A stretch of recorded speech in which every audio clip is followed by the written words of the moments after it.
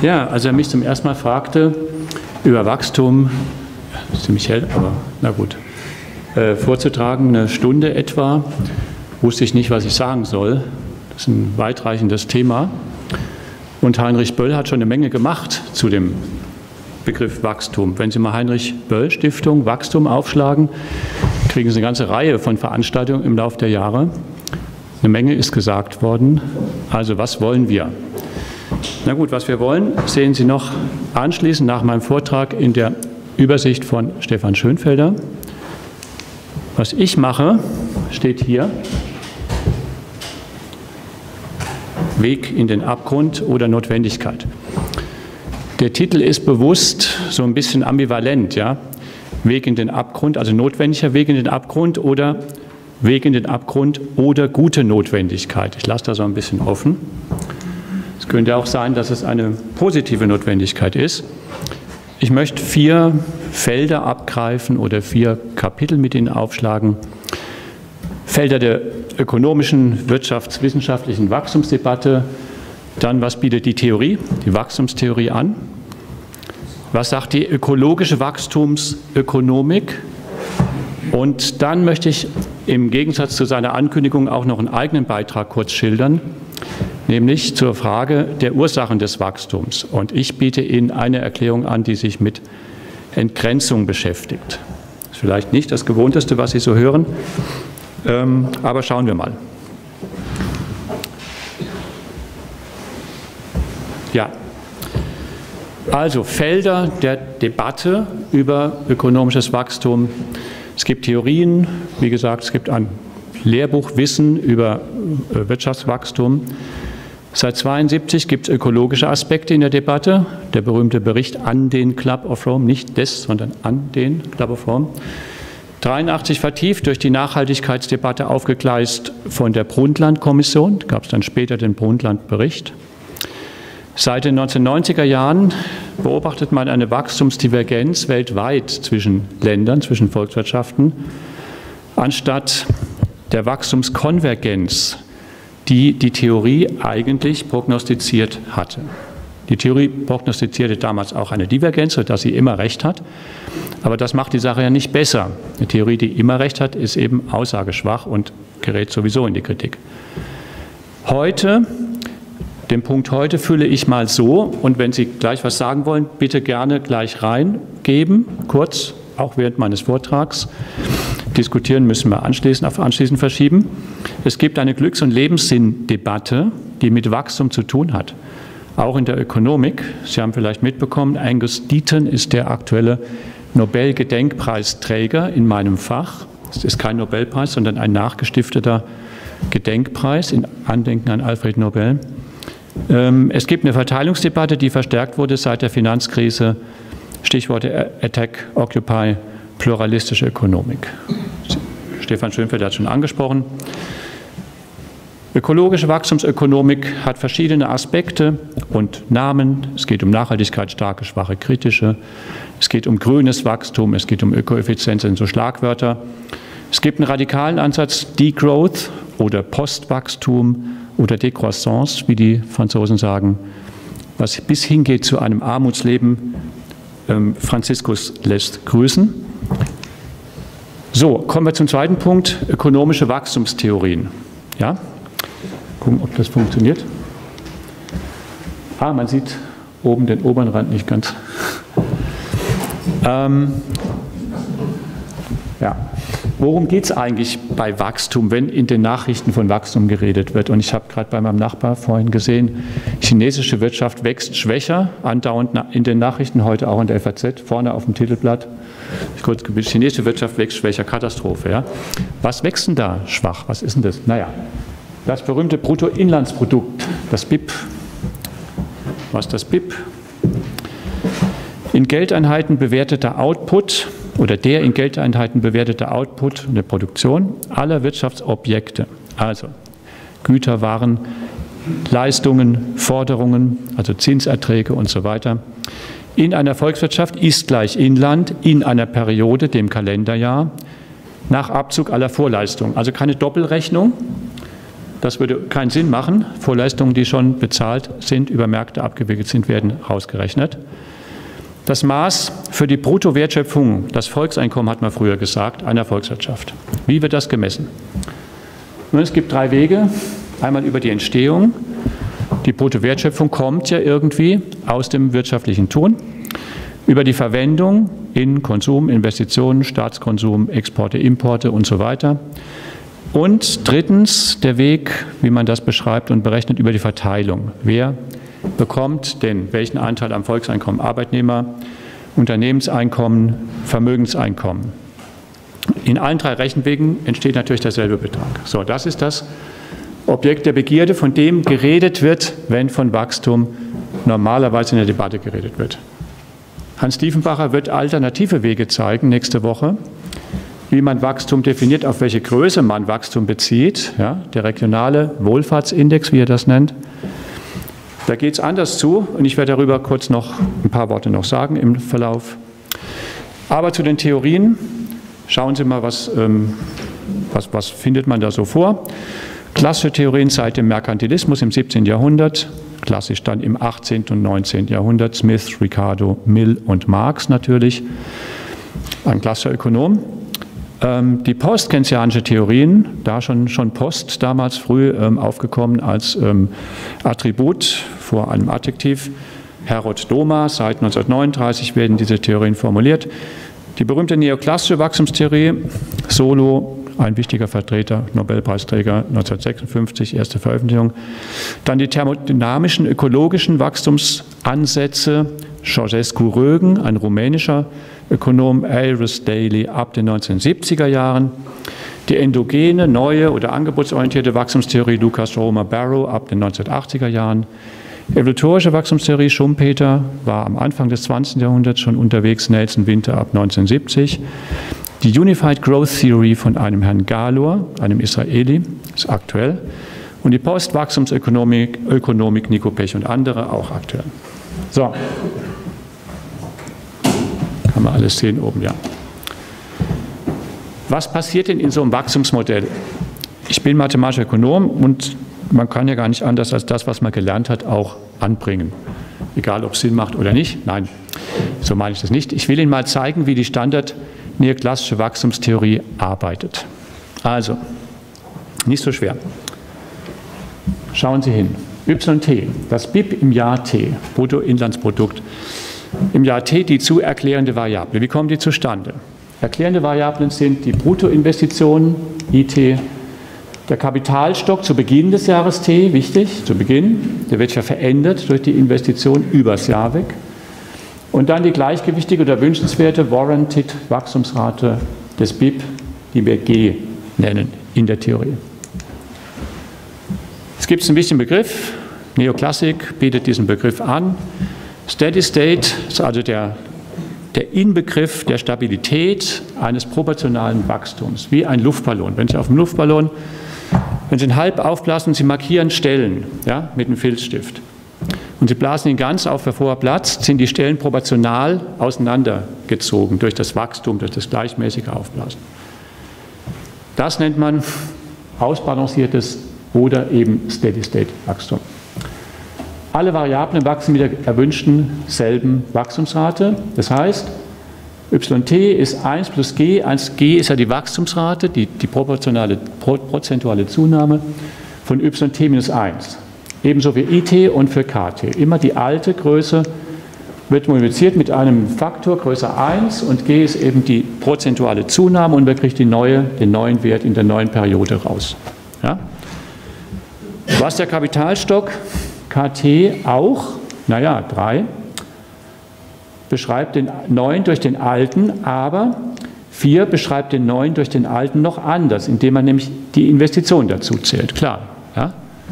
Die Investitionen sind aber hier auch schon beschrieben, nicht definiert, sondern definitorisch beschrieben. Wenn man das jetzt zusammenfügt, kriegt man das heraus, braucht man nicht so genau verstehen, also braucht man es nicht lesen. Es ist ein Einsetzen wenn man wieder einsetzt und kombiniert, kriegt man das. So, und das ist jetzt wichtig. Also die Investitionen sind identisch mit diesen Prozenten und wenn man jetzt beide Seiten durch yt dividiert, Also pro Einheit Bruttoinlandsprodukt, pro Einheit Volkseinkommen, wie Sie es nennen wollen. Ja, wir hatten ja drei Verwendungsarten oder drei Arten, wie Bruttoinlandsprodukt definiert wird. Kriegt man das raus. IT durch YT ist dieser Ausdruck. Warum jetzt auch nicht lesen? Korrekt geschrieben. Jetzt habe ich ihn oben nochmal hingeschrieben. Also man kann ihn fast sehen. Ja, da steht dann K. Stefan Schöfel hat mich gewarnt, dass oben abgeschnitten wird. Ich irgendwie ins, in, den Wind, in den Wind geschlagen, die Warnung. Sorry. Also diese Gleichung ist die magische Gleichung, denn wenn wir definieren IT durch YT, also die linke Seite, als Investitionsquote, was wird investiert in einer Periode T pro erzeugtem, erzeugter Einheit Output, pro erzeugter Einheit BIP. Das nennen wir I. I steht normalerweise für Interest, Zins. Das ist ein kleiner Missbrauch des ähm, ja, der, äh, der, der, der, Bezeichnung, aber ist, ähm, in dem Fall ist es so. Wird so gemacht. Klein k ist der Kapitalkoeffizient, der Kapitalstock am Beginn der Periode t dividiert durch das Bruttosozialprodukt in der Periode t oder Bruttoinlandsprodukt. Also wie viel Kapitalbestand, Anlage, Produktivkapital ähm, ist am Anfang der Periode t da pro Einheit Bruttoinlandsprodukt, ja, pro Einheit Bruttowertschöpfung. Das Ergebnis lautet also, wenn Sie das jetzt einsetzen, so, ich habe einfach die Buchstaben ersetzt, ja, so wie es da steht. Und jetzt müssen Sie interpretieren, das ist also die Lieblingssportart des Ökonomen, was steht da? I Stern ist die Steady-State-Investitionsquote. Die Frage, wie viel soll ich denn investieren in einer Periode als Quote, ja, hier, so wie es hier definiert ist, als Quotient, damit das ganze Ding proportional im Steady State vernünftig wie ein Luftballon wächst und nicht aus der Balance kommt, mir nichts um die Ohren fliegt, kein Sektor überdominant wird und ein anderer geht zugrunde und so weiter. So viel. Wo kommt G her? G ist die Wachstumsrate, die ich wünsche. Zum Beispiel, was, was wäre so eine Wachstumsrate, die als erwünscht gilt? So 4 Prozent. Ja, hat man immer so im Blick gehabt. Chinesen hatten 10, 12 und mehr Prozent Wachstumsrate, jetzt sind sie ganz schlecht, nur noch bei 6 Prozent, Anführungszeichen. Ähm, also, und K-Stern ist der Kapitalkoeffizient, die Kapitalausstattung pro BIP und dann hat man also diese wichtige Beziehung. Das ist die Lösung, die die Wachstumstheorie anbietet. Wie hoch ist meine Investitionsquote, damit ich Steady State wachsen kann? Das ist die Erklärung, das ist die Antwort. Ja, mehr nicht. Jetzt, wie arbeitet der Ökonom? Das werde ich jetzt nicht alles mit Ihnen durchgehen. Wir haben keine Abschreibung drin. Ich habe ja nur gesagt, ich investiere ähm, in Investitionen und erhöhe den alten Kapitalstock. Wo sind die Abschreibungen? Müssen wir reinrechnen. Also kann man machen. Rechnet man rein. D ist die Abschreibungsrate auf den alten Kapitalstock, ja, dann wird es also subtrahiert. Und der neue Kapitalstock ist also KT-1 minus D, KT-1, also der abgeschriebene Teil, plus die Investition. Ist korrekt, ja? Also ist alles in Ordnung. Dann rechnet man das alles nochmal. rechnet man alles nochmal. So, ging zu schnell, ist ja schon fertig. Und jetzt kriegt man diese Formel raus. Also wie vorher auch. Sie haben hier nur in diesem Faktor nicht G, sondern G plus D stehen. Ja? Sie haben also hier die Abschreibungsrate im Zähler. Das heißt, Sie müssen jetzt bei der Investition höher gehen. Sie müssen mehr reinlegen in die Investition, ähm, damit Sie wieder ein BIP-Wachstum, also ein Steady-State BIP-Wachstum bekommen. Okay, das ist die Antwort. Wenn es Abschreibung gibt, muss man mehr investieren als vorher und da ist die Formel genau wie vorher, analog und aber mit einem größeren Zähler. Der Wert ist größer. So, da, so arbeitet der Ökonom. Tastet sich über Verallgemeinerungen, über Lockerungen von restriktiven Annahmen voraus, vor und dann baut man Wachstumstheorie über Wachstumstheorie. So. Fragen, Kommentare? Möchte niemand was sagen? Gut. Ähm, bitte? Sie übersehen? Ja. Ähm, wenn wir jetzt diese Danke. Wenn wir jetzt diese Formel haben, ist dann quasi der Schluss, den ich daraus ziehe, dass die, meine Endformel hier, ganz unten, genau, ist dann der Schluss, den ich daraus ziehe als Ökonom, dass ich meine Investitionsquote an das Wachstum anpassen muss oder geht es darum, wie viel ich investieren will, äh, muss, wenn ich ein bestimmtes Wachstum haben möchte? Letzteres. Ich will, na, hallo. Letzteres. Ich will diese Wachstumsrate realisieren und dann habe ich die Aufgabe, investiere bitte in diesem Maß. Ja. Ähm, geht das jetzt für Volkswirtschaft oder ist das ähm, ja. auch bitte? Das ist eine Ökonomie, eine Volkswirtschaft. Ja, okay, und äh, das heißt Investitionen in jeden Sektor.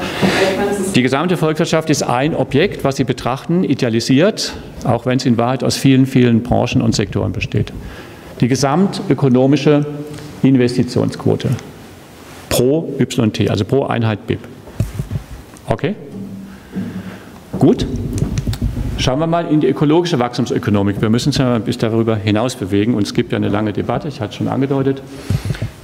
Also, die Lehrformel Formel technischer Fortschritt, die ich jetzt gar nicht eingefügt habe, ja, die steckt in den Investitionen drin. Technischer Fortschritt ist also ein großes Thema bei der Wachstumstheorie, bei den komplexeren modernen äh, Modellchen. Aber was ist das? Und man kann das zum Beispiel mit Energie füllen.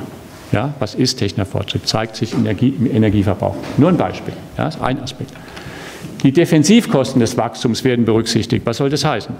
Wachstum erzeugt Kollateralschäden, ich sage es mal, Anführungszeichen.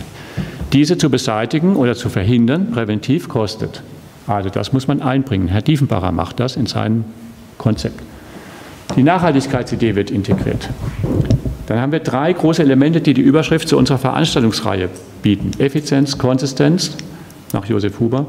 Und Suffizienz kommt aus dem Postwachstum, aber das, die Vokabel gibt es schon viel länger natürlich, ganz, hat eine ganz lange Geschichte. Ja, die drei Vokabeln haben uns ja in, in, im Titel, finden Sie in unserem Titel, haben sich da schon beschäftigt. Was ist das? Ja, man hat eine Ahnung, was es sein soll. Werde ich noch was zu sagen? Ich habe gehofft, Stefan Schönfelder erklärt es, hat er aber nicht. nee, kann man gut erklären.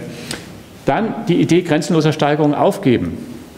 Einfach aufgeben. Ja? Die dominierende Optimierungsvorstellung der Neoklassik fehlt ja oder kollidiert ja mit einem ewig wachsenden System mit positiver Wachstumsrate. Das ist ja gar nicht, da ist ja gar kein Optimum. Die Wachstumsrate kann möglicherweise als gewünscht gewählt werden. Das haben wir gesehen in dem Solo-Modell, in der Primitivversion, die ich Ihnen gezeigt habe. Aber das heißt ja nicht, dass die Bezugsgröße, die Basisgröße irgendwie ein Optimum annimmt, sondern die wächst ja, wie, die, wie der bekannte Seerosenteich zuwächst und am letzten Tag wächst er von der Hälfte aufs Ganze an einem Tag über Nacht oder über Nacht zu, wenn die Wachstumsrate konstant bleibt, weil das ein exponentielles Wachstum ist. So. Wo bleibt also der Optimierungsgedanke der Neoklassik in ihren eigenen neoklassischen Modellen zu Wachstum? Ist irgendwie weg. Da stimmt was nicht. Ja? Das ist ein Widerspruch. Ich zeige Ihnen jetzt Folien eines befreundeten Kollegen Thomas Görlinger, die so schön sind, dass ich sie jetzt nicht nochmal neu schreiben wollte und anders machen wollte. Also Nachhaltigkeit, aber in diesem Kreis vielleicht auch schon ziemlich oft diskutiert, Ökologie, Ökonomie, Gesellschaft, also es geht um die Lebensgrundlagen, um das Wachstum, sprich Wohlfahrt und dasselbige soll maximiert werden im Sinne der Ökonomie. Und die Gesellschaft hat andere Themen auf ihrer Agenda, Sozialgerechtigkeit, Chancengleichheit, Menschenrechte. Stefan Schönfelder hat es angesprochen. Die, die Nachhaltigkeit, Sustainability-Konzepte, hatte ich schon erwähnt, sind, äh, die Konzepte ist, sind dreifach. Es gibt die starke, die schwache und die kritische Nachhaltigkeit. Die starke Nachhaltigkeit heißt eben, Naturkapital ist nicht substituierbar. Glaubt nicht, so lautet die Botschaft insbesondere der, der Deep Ecologist oder der von mir aus Fundamentalökologen, Postwachstumsökonomen, glaubt nicht, dass ihr zerstörte Natur irgendwie durch Artefakte substituieren könnt, die ihr herstellt. Die schwache Nachhaltigkeit sagt genau das Gegenteil, doch das geht, und zwar ziemlich gut, vollständig, dass die neoklassische Umweltökonomie, die auf Effizienz schaut und diese Idee, der diese Idee zugrunde liegt, und die kritische Nachhaltigkeit sagt eben, ja, teilweise geht es, teilweise nicht. Das scheint ja das Vernünftigste zu sein, dem würde man sich ja anschließen. Ähm, vorneweg gesagt.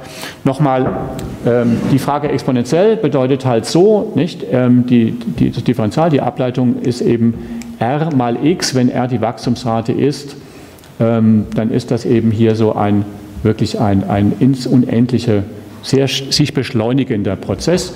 Was wir kennen aus der Natur in der Regel ist das logistische Wachstum. Ja? Es findet irgendwo einen Sättigungsgrad, es gibt einen Wendepunkt hier, also hier steigt die Steigung bis hier, also der Anstieg steigt, das heißt das Tempo steigt und dann nimmt das Tempo ab. Ab hier ist eine Entschleunigung und dann gibt es eine Sättigung. Ähm, Thomas Göllinger hat dann schöne, diese schöne Gleichung, Umweltbelastung ist gleich Bevölkerungszahl mal Güter pro Kopf mal Ressourcenverbrauch pro Kopf mal Naturbelastung pro, nein, nochmal, Bevölkerungszahl mal Güter pro Kopf mal Ressourcenverbrauch pro Gutseinheit, Gütereinheit mal Naturbelastung pro Ressourceneinheit, die verbraucht wird. Ja, kommt jetzt so ein bisschen vom Himmel. Ich könnte Ihnen das hier beweisen, das wär, dauert jetzt zu lang, das ist die, die Herleitung. Das sind zwei Autoren, Ehrlich und Ehrlich. Ähm, ein Mann und eine Frau, ich weiß nicht, ob das ein Paar ist. Ehrlich und Ehrlich haben das also vor Jahren schon kreiert, so eine Gleichung aufzustellen. Und interessant ist, ähm, dass die Umweltbelastung mal quantifiziert wird. Ja? Und zwar so, dass man diesen drei Faktoren einen Begriff zuordnen kann. Ich habe gerade davon geredet. Suffizienz, Effizienz und Konsistenz. So wie es hier steht. Suffizienz bedeutet Genügsamkeit. Konsum und damit Naturverbrauch sollen reduziert und beschränkt werden. Das sind zwei verschiedene Dinge. Reduzieren heißt ja nur ein bisschen weniger, aber beschränkt auch wirklich nicht über ein Maß hinaus. Ja, also nicht das Wachstum beschränken, sondern tatsächlich gesamt, den Gesamtbestand beschränken. Also die, der Quotient, der dazugehört ähm, in der Formelsprache, ist eben Güter pro Kopf Bevölkerung. Ja? Also der, Güter, der, der, der Wirtschaftsobjekteverbrauch, allgemein gesagt, Leistungen gehören natürlich auch rein. Wirtschaftsgüter sind ja gemeint, nicht nur Waren, sondern äh, Leistungen und so weiter. Pro Kopf ähm, Suffizienz, ich komme aus mit einem Mindestmaß. Effizienz ist klar, der Ressourcenverbrauch Verbrauch pro produzierter Einheit. Der Ökonom sagt möglichst wenig Naturverbrauch pro Produktionseinheit. Er sagt schon Naturverbrauch der Ökonom, er sagt nicht, mir doch egal. Nein, aber er möchte nicht sich beschränken in der Produktionsmenge, sondern er sagt, ich möchte den, die Produktionsmenge, die ich herstelle, und wenn es so ist, dass jeder von uns fünf Fernseher zu Hause stehen hat, möglichst effizient gestalten. Und dagegen geht jetzt die Konsistenz. Äh, Josef Huber vor einigen Jahren ähm, ähm, formuliert und, und äh, propagiert. Dagegen geht auch nicht nur die Suffizienz, sondern auch die Konsistenz an, indem gesagt wird, konsistent bedeutet, Produktionsverfahren müssen im Einklang mit natürlichen Prozessen stehen. Recycling ist ein Unterbegriff, ich zeige noch mehr Unterbegriffe. Der Quotient dazu heißt also Naturbelastung pro verwendeter Ressourceneinheit in der Produktion. So, das ist also eine schöne Formel. Ähm, wie gesagt, nicht von Thomas Göllinger oder mir erfunden, ähm, schon ein bisschen älter, so kann man sich das herleiten. Ähm, wenn man es grafisch nochmal anschaut, die berühmte Faktor-4-Situation, ja, Weizsäcker vor vielen Jahren formuliert, Volkseinkommen auf der Ordinate, Umweltbeanspruchung U und Umwelt- und Ressourcenintensität U. Also wie viel brauche ich pro Intensität heißt, wie viel brauche ich pro hergestellter Produkteinheit, Produktionseinheit. Ähm, also hier hat man den, äh, das ähm, Wachstum im Sinne eines exponentiellen Wachstums und ähm, bei absoluter Entkopplung zwischen Wachstum BIP-Wachstum und Naturverbrauch hat man so eine Kurve von Groß U, also von der Umweltbeanspruchung, und von Klein u, also der Ressourcenintensität. Ja? Also so würde das aussehen, wenn man zwischen zwei Zeitpunkten die Situation betrachtet, bei, wie gesagt, wachsender Ökonomie, aber mit, geschickter, mit geschicktem Management. Okay.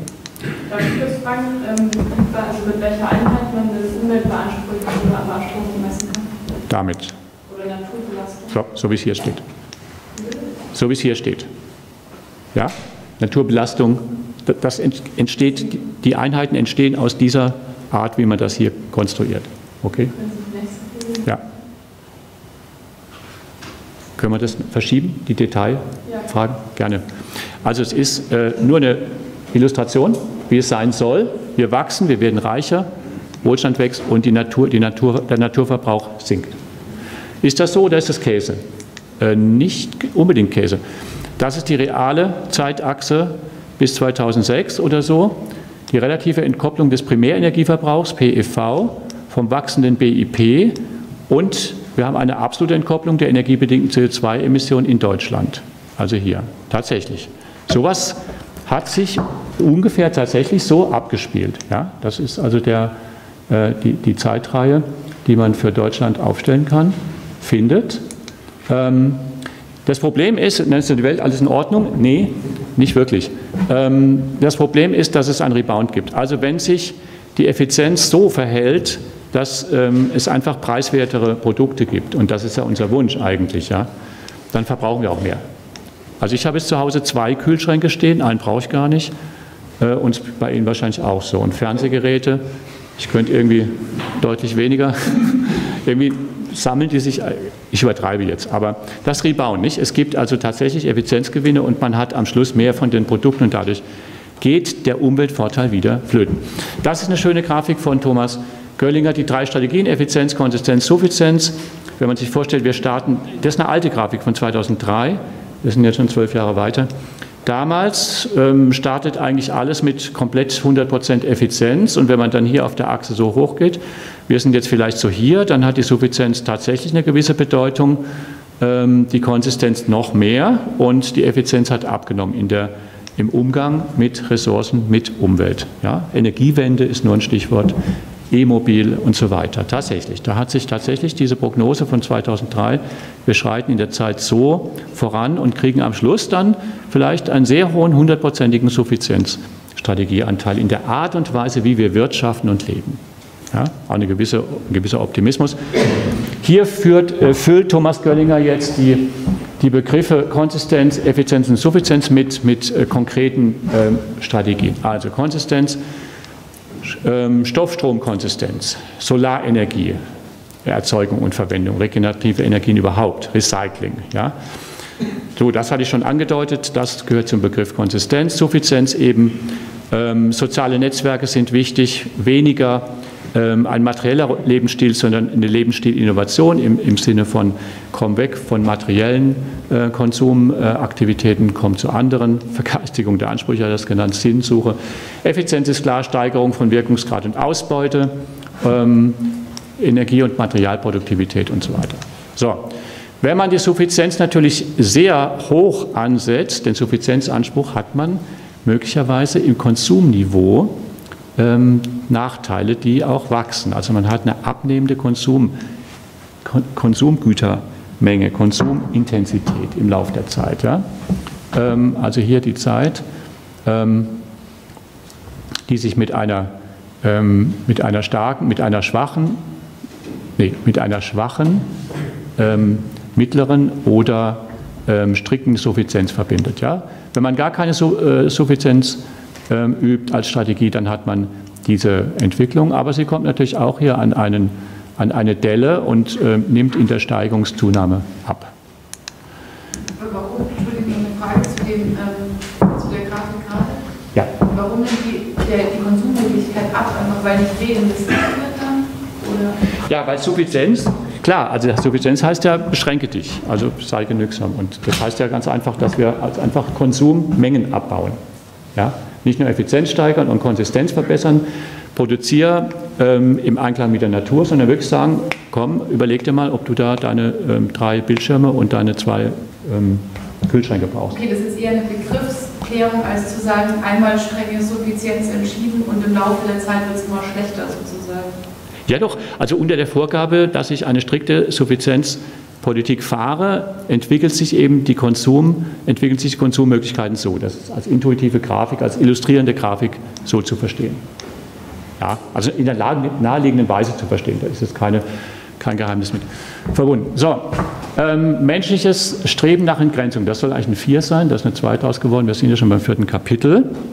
Ähm, also, das ist das Anliegen von mir persönlich, also mein, ähm, mein Ansatz, mit dem Thema Wachstum umzugehen. Ähm, schauen wir mal auf Daten nochmal. Also, hier haben wir das US-Pro-Kopf-Einkommen, inflationsbereinigt bis 2002. Ähm,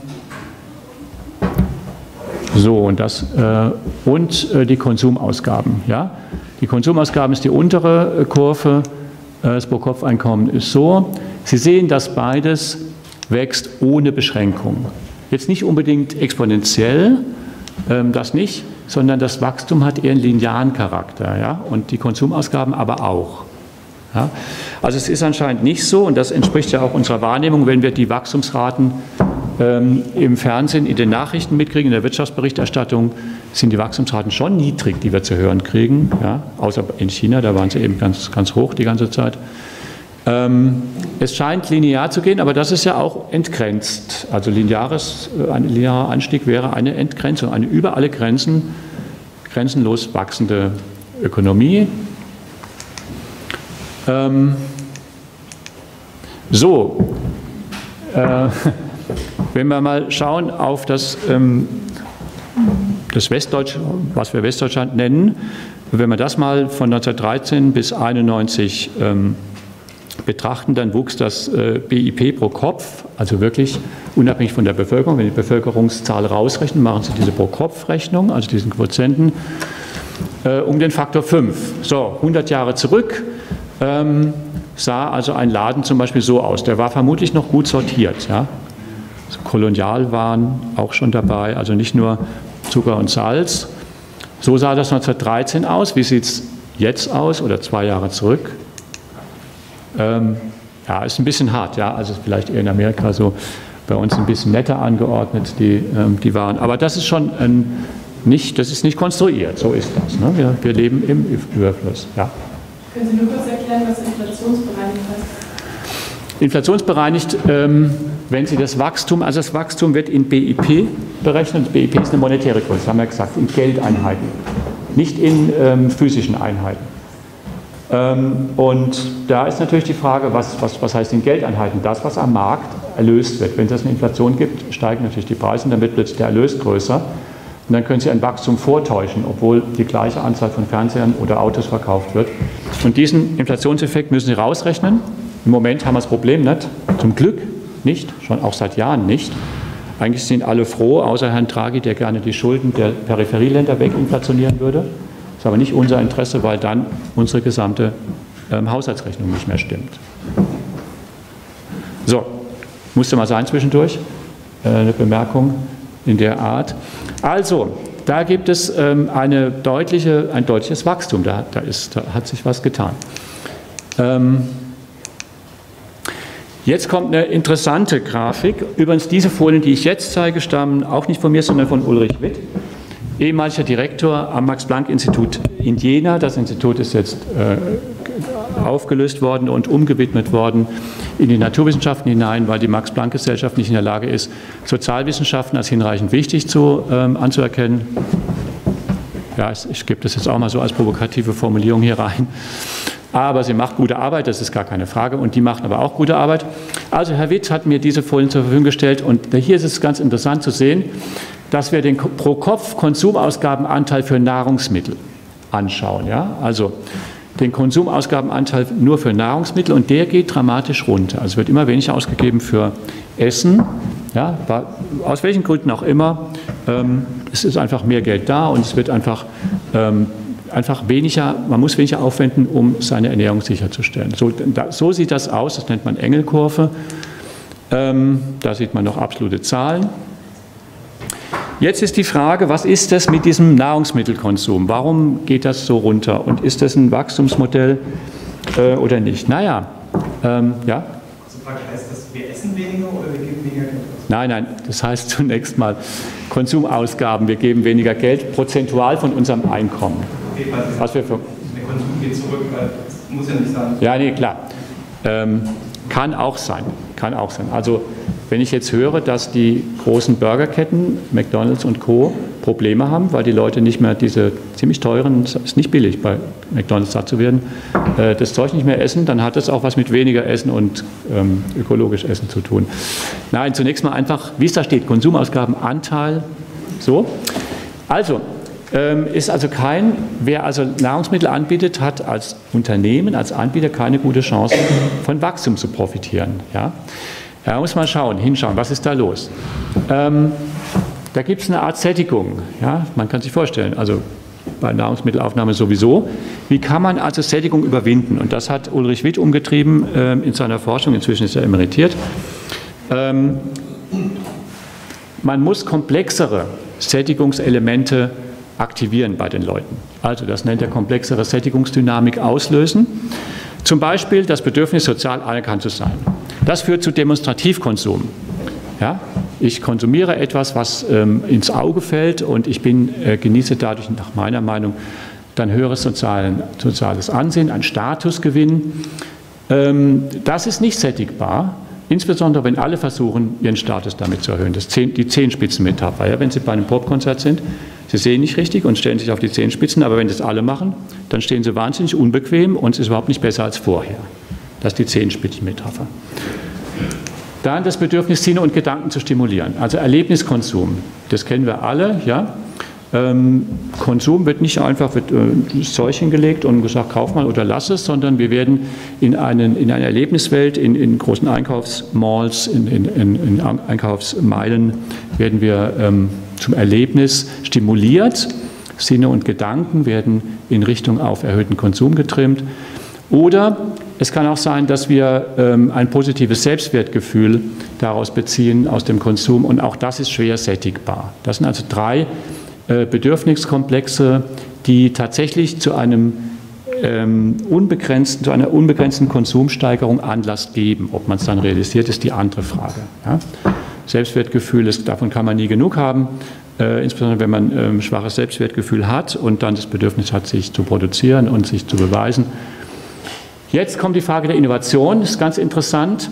Wie machen Anbieter das? Wie hat unsere Ökonomie das in, im Laufe der letzten Jahrzehnte hingekriegt, dass wir also das Wachstum, was wir haben, realisieren konnten? Ähm, Sie entziehen in der Innovationsstrategie Produkten, die sättigbaren Bedürfnissen dienen, also Getränke zum Beispiel, den entziehen Sie den sättigenden Faktor. Ja?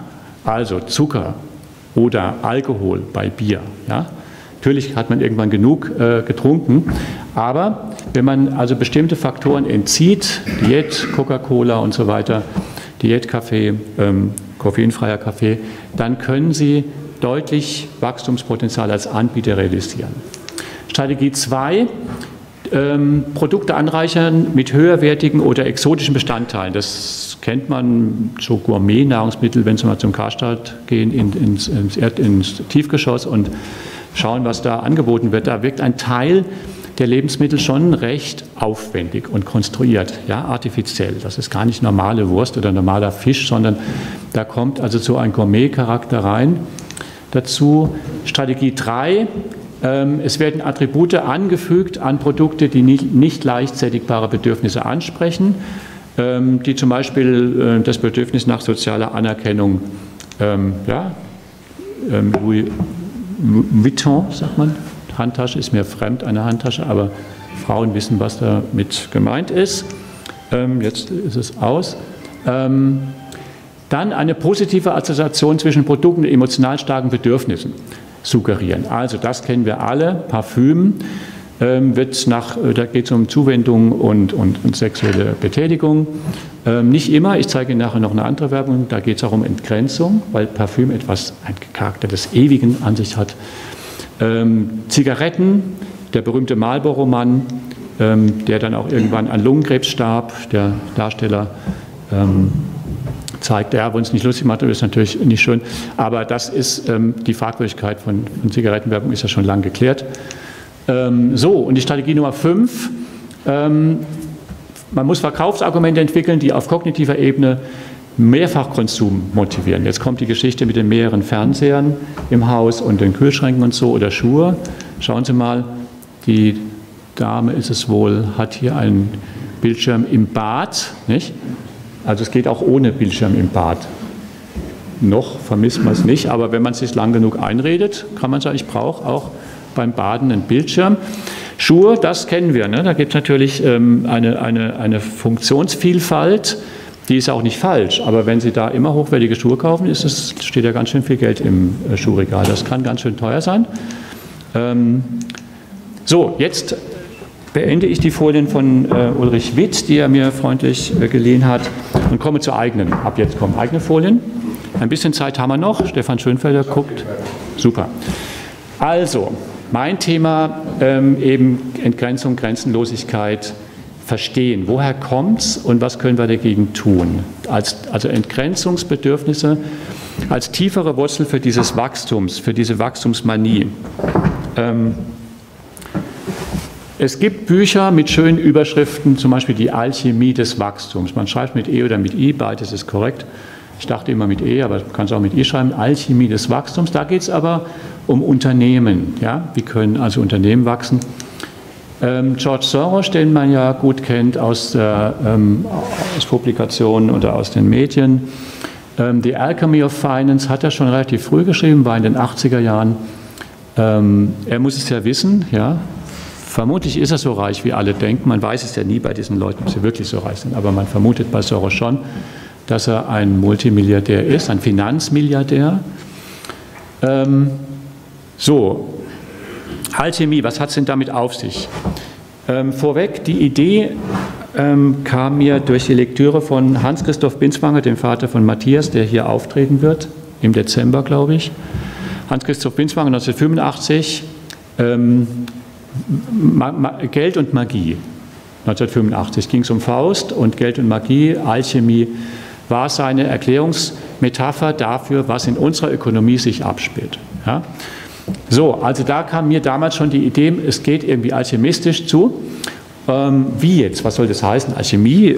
Ähm, wer, stellt denn jetzt, wer will denn jetzt schon noch Gold aus Blei oder Dreck herstellen? Das ist ja jetzt so wirklich Quatsch.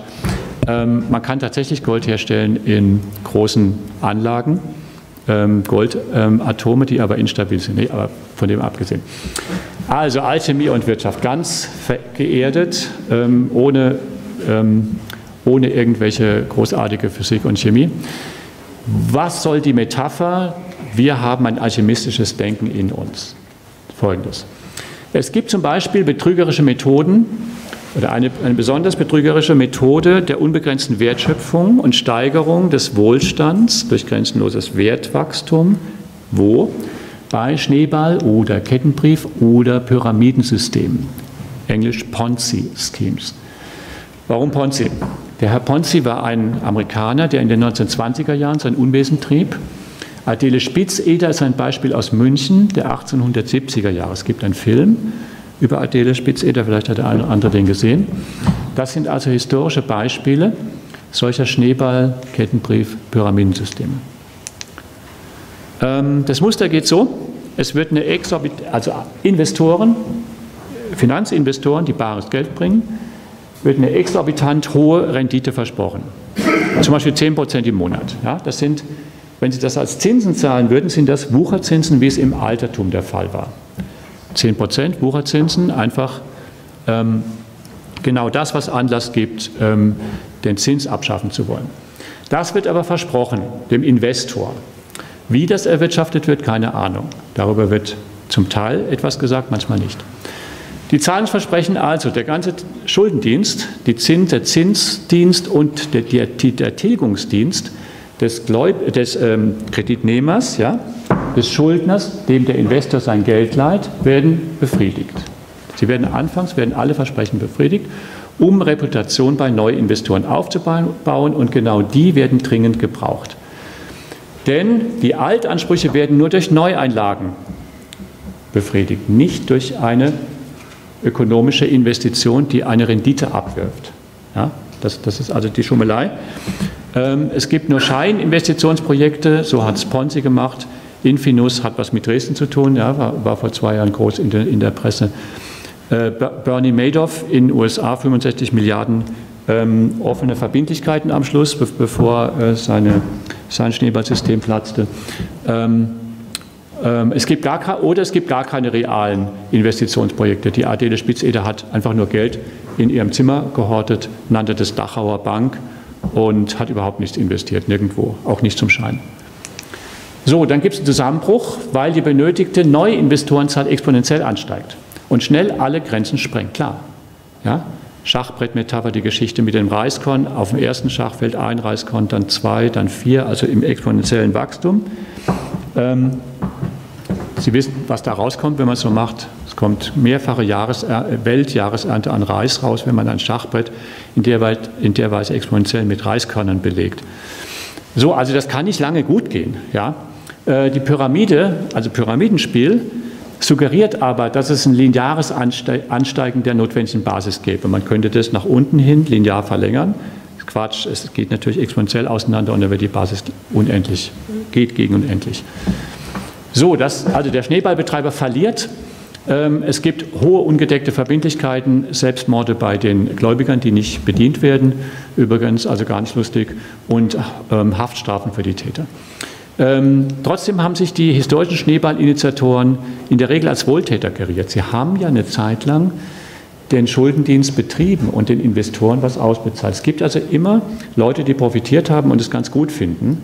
Und dann gibt es äh, die armen Teufel, die äh, mitunter wirklich äh, existenziell bedroht werden durch diese betrügerische Art. Ja, okay. Und, und diese, äh, gerade Adele Spitzeder und Herr Ponzi wurden also nach der Haftentlassung zu Wiederholungstätern, muss man sich mal überlegen, ja? haben versucht, weil sie eben im eigenen Verständnis Wohltäter der Menschheit sind.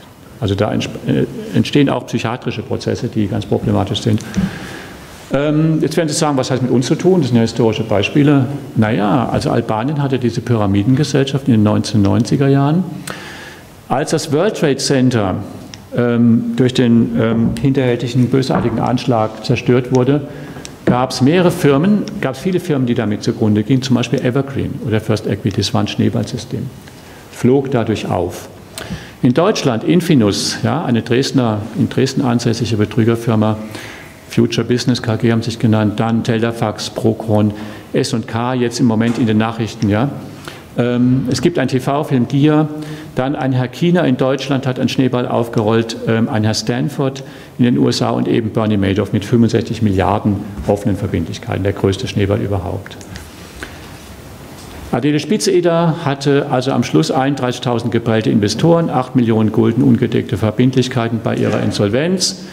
Ponzi, da war es interessanter, der hat behauptet, er macht eine Investition, indem er internationale Postantwortscheine äh, kauft in Spanien und äh, für den sechsfachen Preis in den USA verkauft, also 500 Prozent Bruttogewinn macht.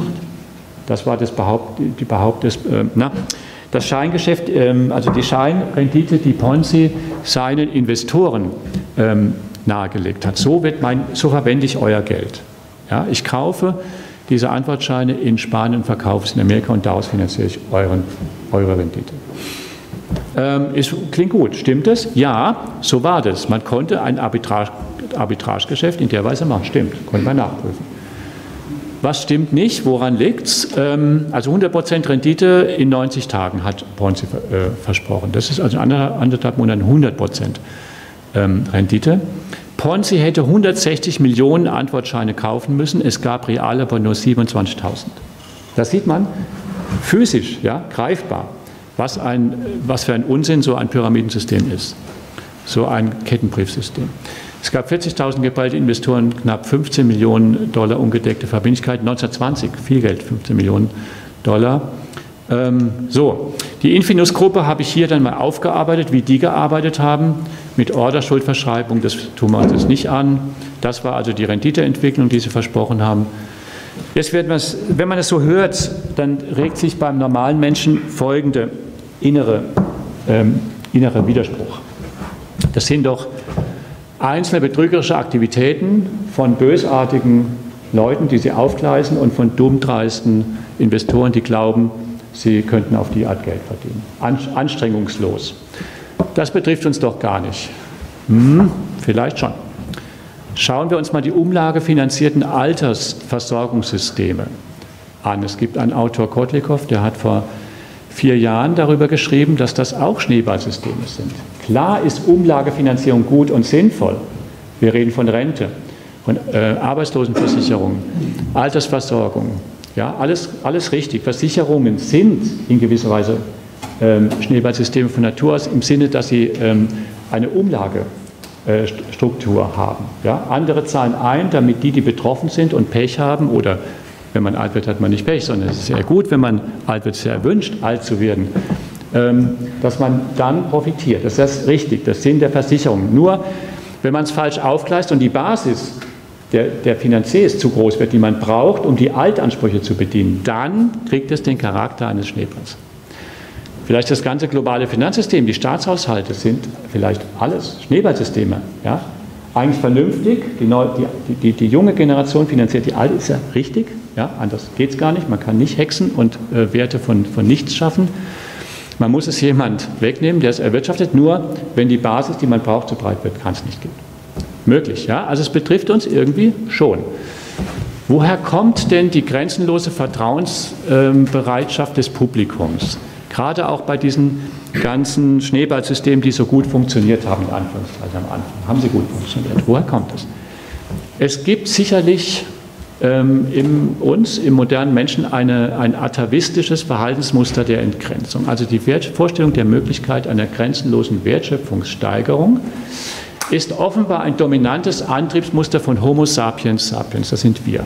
Das ist nicht gestottert, sondern wir heißen so. Der rezente, moderne Mensch ist biologisch so. Ja, wir sind ja ähm, ganz normal in der zoologischen Genealogie verankert und ja, Homo sapiens war noch relativ rückständig. Wir sind also einen Schritt weiter, aber eben mit alten Verhaltensmustern, mit atavistischen Mustern, zum Beispiel steigere dich. Ja, jetzt wenn Sie sagen, hallo, ich mache das nicht. Ich habe nicht das Bedürfnis und ich versuche es auch nicht, mich ins Unendliche zu steigern oder irgendwas zu entgrenzen. Ich mich verrückt. Weiß ich nicht. Schauen Sie mal, das hatten wir schon, oder? Ich habe jetzt beide ähm, berühmten Zeichnungen. Ähm, die eine davon hängt hier in Dresden. Ja? Ähm, das andere Bild ist von, von Bruegel. Also der ähm, babylonische Turm war eine ganz alte, ein altes Projekt, ja, im Alten Testament beschrieben, hat Konsequenzen gehabt mit der Sprachverwirrung und so weiter, die wir heute noch tragen müssen. Ähm, das ist eine alte Idee, Gottgleichheit. Also Entgrenzung landet natürlich auch irgendwo im Himmel, also bei Gott. Nicht? Das, das Entgrenzes, die, die Entgrenzung per se ist Gott. Und das hat man schon mal probiert, ähm, laut Bibel. Ähm, der Gotteskomplex wurde von Horst Ebert Richter und Erich Fromm formuliert, ist also durchaus ein psychiatrischer Befund, der, der uns mehr oder weniger alle betrifft, so sagen diese Sozialpsychologen, Sozialpsychiater. Es gibt im modernen Menschen ein Selbstüberhöhungsbedürfnis als Homophaber, als Homokreator, er schafft seine eigene Welt. Ähm, aufgrund des Verlustes, und das ist eine Verlustneurose, der alten feudalistischen gesellschaftlichen Ordnungsbeziehungsstrukturen beim Aufbruch in die Neuzeit um 1500. Und dessen Realisierung, die Realisierung dieses Verlustes der alten feudalistischen gesellschaftlichen Ordnungsbeziehungsstrukturen durch Technik und Ökonomie seit 1750. Industrielle Revolution. Er ist ein bisschen kompakt, der Satz, aber ich habe versucht, alles reinzustecken. Das könnte eine ganz richtige Erklärung sein. Ja?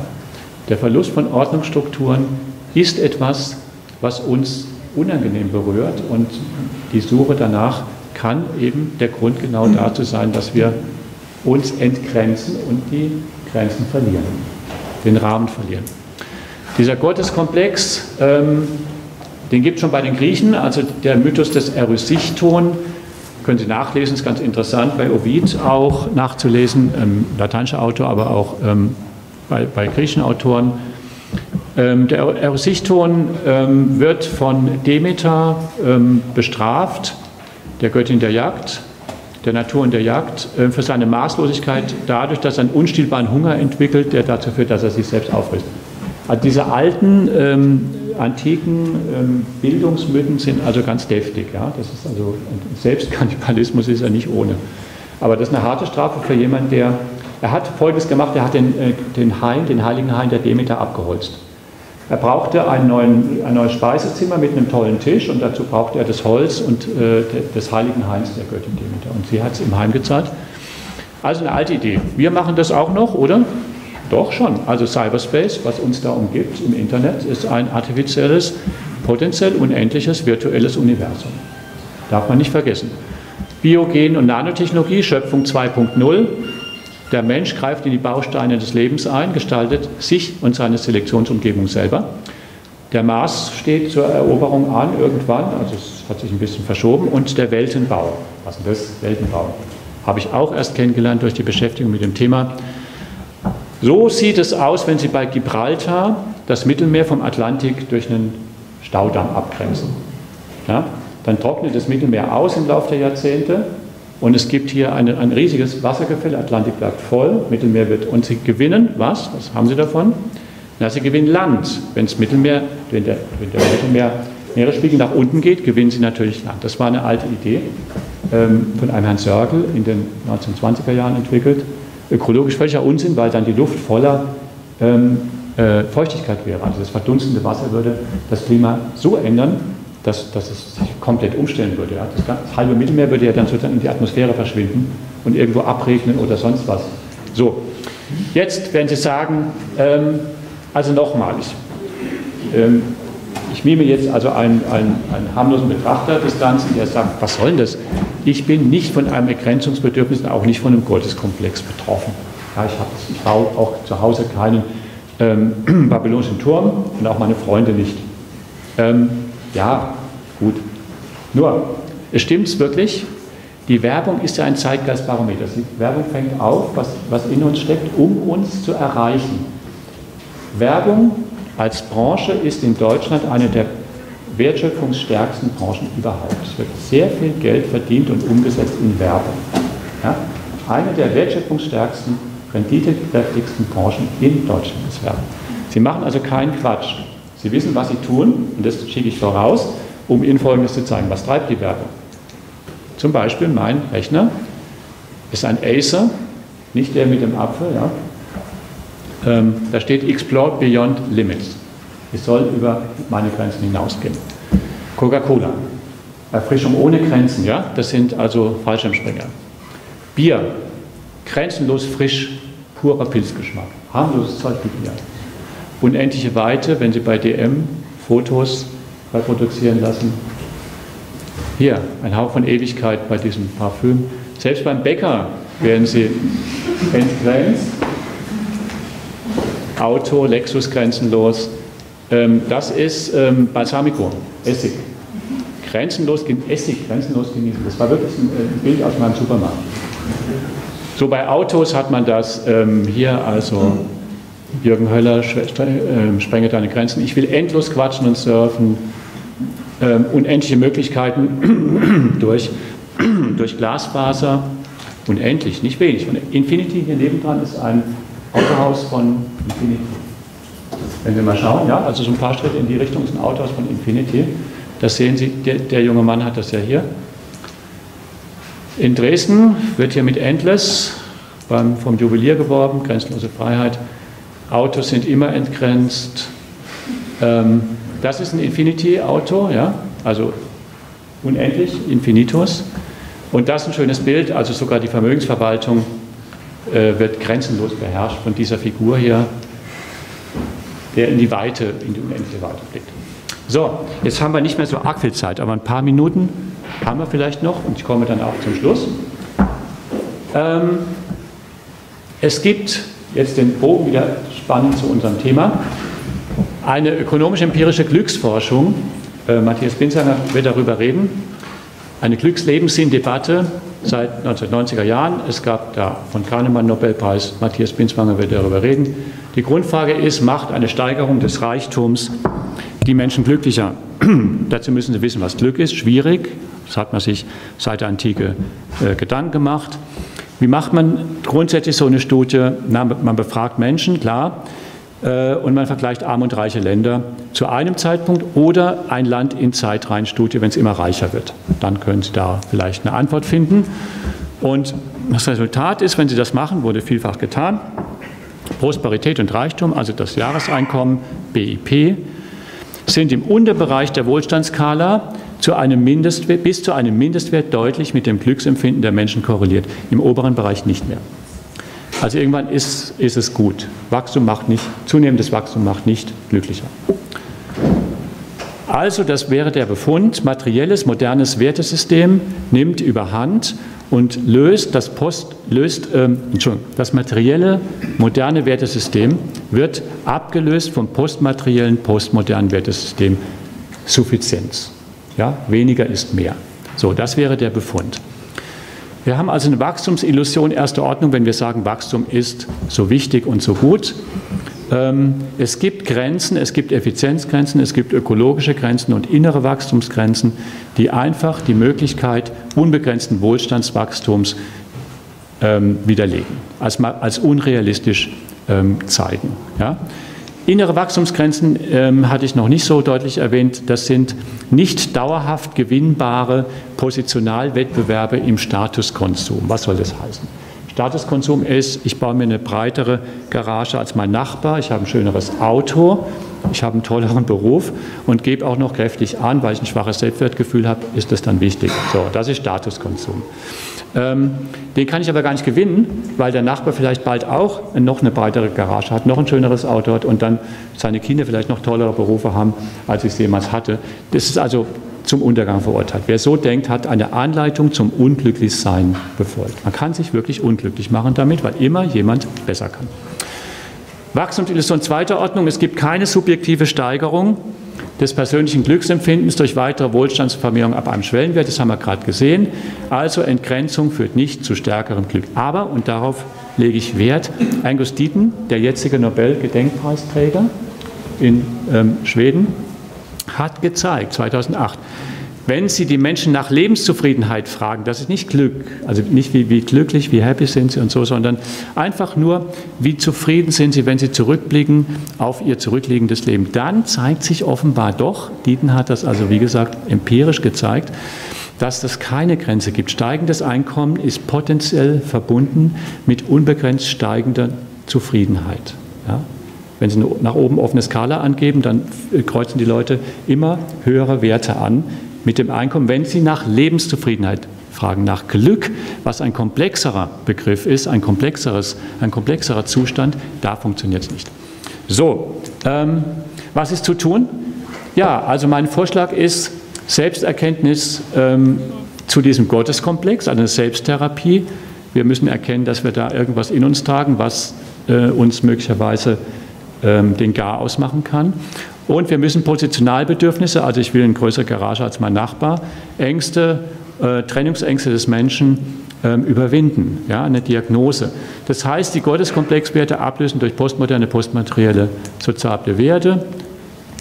Soziabel heißt, da kommt jetzt die Erklärung, bin gleich fertig, das, was zum Beispiel im traditionellen ist schwierig. Es gibt offenbar bei uns ein atavistisches Bedürfnis nach Neugierde und nach Entwicklung. Das wissenschaftlich ausgedrückt, das sind elementare, universelle, also über die Menschheit verbreitete anthropologische Konstanten in unserem Verhaltensrepertoire. Wenn man das abwirkt, ähm, dann erzeugt man Unzufriedenheit und Störpotenziale. Die sozialistischen Gesellschaften nach dem Zweiten Weltkrieg in äh, Mittel- und Osteuropa und in Asien haben das bewiesen. Also das ist sicherlich kein Weg. Deswegen Vorsicht mit der Suffizienz, wenn man sie übertreibt und am Schluss da landet, wo Savonarola gelandet ist, Ende des 15. Jahrhunderts in äh, Florenz, als er alles unterdrückt hat, was irgendwie mit Genuss und mit Freude zu tun hatte und den Frauen den Schmuck vom Hals gerissen hat. Ähm, das ist eben genau der Weg, der ähm, nicht zum Ziel führt und auch nicht äh, von, den Menschen nicht begangen wird. Vielen Dank.